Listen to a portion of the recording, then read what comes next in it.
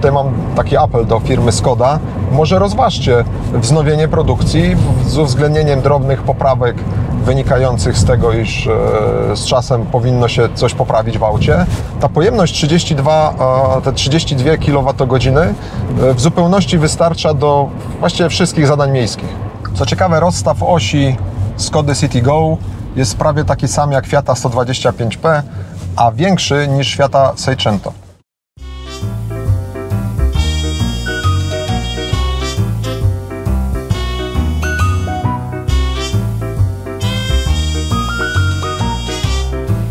Elektryzujące rozważania roślinożercy. Elektryczna wersja Skody City Go. Właśnie przejechaliśmy nią 50 tysięcy kilometrów.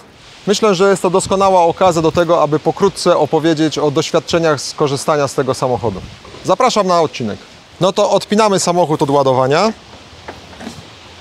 lewą ręką, gdyż jest to taki zaczep, który może skaleczyć nam właśnie prawą dłoń. I jedziemy.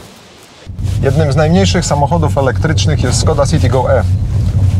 Dzisiaj opowiem Wam o tym, jak to się stało, że kupiliśmy ten samochód, jak się sprawuje po 50 tysiącach kilometrów, które właśnie ten, sam, ten konkretny egzemplarz przekroczył.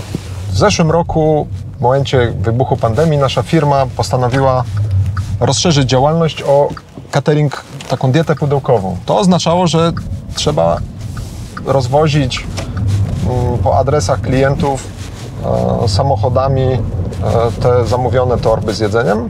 No i ponieważ wcześniej już miałem samochód elektryczny e, oraz mamy panele fotowoltaiczne w firmie, po przeprowadzeniu stosownych kalkulacji, o których opowiem w kolejnym odcinku na temat Skody, doszliśmy do wniosku, że warto spróbować zakupić, konkretnie w leasingu, wziąć w leasing takie autka właśnie jak Skoda City Go i zaczęliśmy od dwóch i mniej więcej w kwietniu zeszłego roku, może w maju, e, pojawiły się u nas dwie pierwsze Skody City Go. Mm, No i jedną z nich właśnie, właśnie jadę.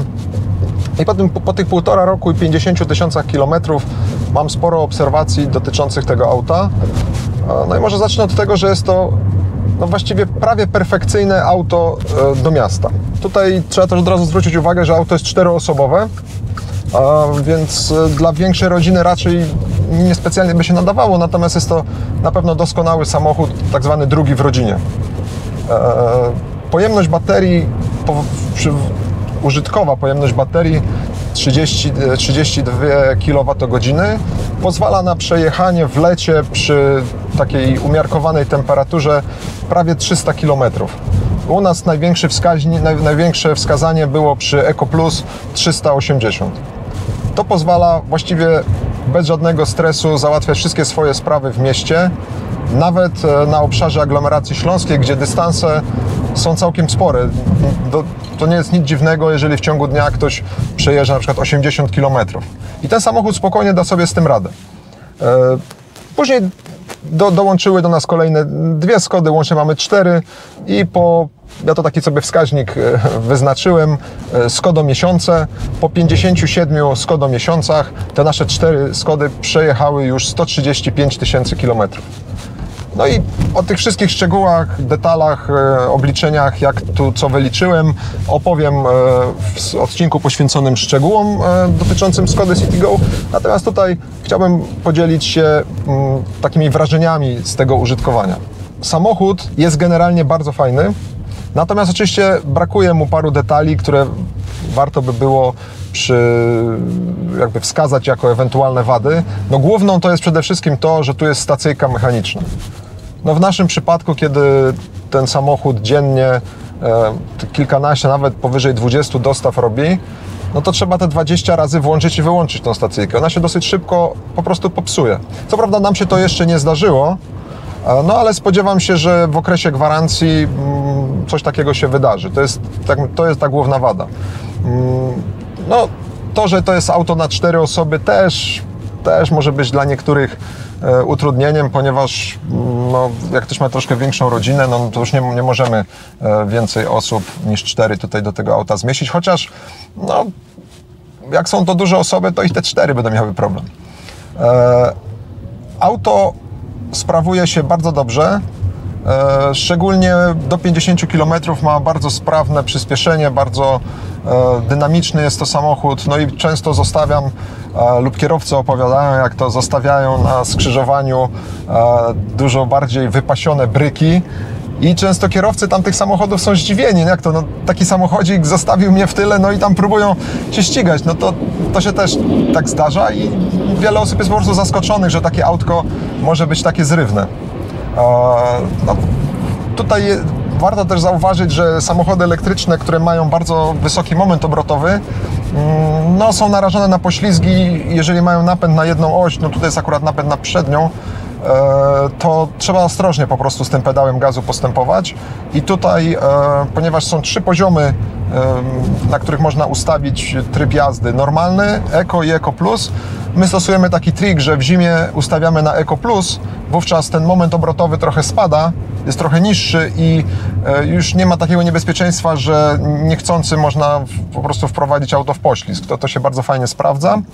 No i tutaj też powiem od razu o, e, o tym, co, e, co powinno w takim. Dlaczego, dlaczego to auto jest fajne? Bo ma elementy, które każde auto elektryczne powinno mieć. No i tu zacząłbym od tego, że mm, auto ma ogrzewanie mm, przednich foteli. To jest bardzo ważny element, bardzo ważny element wyposażenia, ponieważ jeżeli spada temperatura na zewnątrz, zresztą ona jest głównym czynnikiem generowania zasięgu, e, to w momencie, kiedy ona spada, e, chcąc zagrzać się w środku, zużywamy prąd z baterii trakcyjnej, który zamiast na jazdę jest zużywany na ogrzewanie. Więc w razie gdyby była konieczność tutaj walki o zasięg, e, lepiej jest ogrzewać się mm, po prostu fotelami niż e, dmuchawą. Więc to, to na pewno ten element wyposażenia jest. Tu nawet jest ogrzewanie przedniej szyby, które jest normalnie opcjonalne e, w Skodach, ale tu, tu akurat w, tych, w tym egzemplarzu mamy ogrzewanie przedniej szyby. E, To też się przydaje, e, chociaż trzeba pamiętać, że to także zużywa prąd. E, No i tu pewnego rodzaju wadą jest, że kierownica nie jest ogrzewana, więc w tym momencie, gdybym miał tutaj mówić, to oprócz tej stacy- o zmianach, to oprócz tej stacyjki dodałbym ogrzewanie kierownicy, to też by się przydało. Natomiast no w zasadzie innych takich istotnych wad tutaj nie dostrzegamy. Sporo, sporo się mieści. Kiedyś e, wyliczyliśmy, że 7 styroboksów takich standardowych wejdzie do tego auta. Mm, To jest sporo, a opowiadam o tym dlatego, że wydaje mi się, że jest to także doskonałe auto dla różnego rodzaju restauracji, pizzerii, e, które w ciągu dnia realizują dostawy na stosunkowo krótkim dystansie. E, No i to auto w zupełności do tego wystarczy. Nam przez, te, mm, przez ten cały czas zdarzyła się tylko jedna awaria, jeden z tych samochodów. Coś się stało z baterią. mm, Musie, samochód musiał być zabrany do, bodajże do Poznania na naprawę. To chyba trwało 3 tygodnie. No ale dealer się fantastycznie zachował, od którego to kupiliśmy, firma Margo Szczotok z Rybnika i na ten czas e, mm, tej naprawy pożyczono nam po prostu inne auto elektryczne, tak żebyśmy mogli utrzymać tą naszą e, misję, że dostarczamy na Śląsku e, autami elektrycznymi. Wykonanie tego samochodu też jest dość solidne. Mm, W stosunku do e, innych aut, można powiedzieć, jest to normalna jakość Skody. Tutaj nie ma żadnych skrzypiących plastików. To, to zresztą szczególnie słyszy się takie rzeczy w aucie elektrycznym, wszelkie dźwięki, skrzypienia i tak dalej. Mm, ma, ma co prawda ograniczenie do 130 km na godzinę bodajże, ale już też jechałem tym autem i do Wrocławia, i jeździmy nim do Krakowa e, i ten szum wydaje się być e, stosunkowo e, niski. Ten hałas w środku auta przy, przy tej powiedzmy prawie maksymalnej jego prędkości aż tak nie przeszkadza, czyli auto jest dobrze wygłuszone, mm, dobrze się nim jeździ, przyjemnie po prostu. Tak, nie mam tutaj większych uwag. Mm, No jest oczywiście to, że jest mniejsze powoduje, że no, wygodnie się nim parkuje i tutaj kolejny, kolejny plus, plus ten samochód od nas otrzymał. E, powiedzmy jeszcze sobie o e, cechach elektrycznych, bo to jest właściwie to, na co zwracam, zwracam uwagę. Otóż e, samochód jest wyposażony zarówno w gniazdo czy w złącze typu drugiego, jak i złącze CCS. E, Gniazdo typu drugiego pozwala na ładowanie z mocą 7,4 kW. CCS oficjalnie producent deklaruje, że jest to moc 40 kW, natomiast Ja tam raz próbnie e, ładowałem ten samochód CCS-em, widziałem najwyższą moc 28 i tu od razu powiem, to oprócz dwóch wyjątków, wszystkie nasze auta cały czas są ładowane wyłącznie e, z prądem zmiennym. E, i to może nawet być realizowane ze zwykłego gniazdka, bo na początku też tak robiliśmy, że auto wieczorem stawialiśmy mm, po prostu na parkingu, podłączaliśmy e, tą przenośną ładowarkę, tak zwaną cegłę i po 12-godzinnym ładowaniu, czyli rano, samochód był zawsze do pełna naładowany.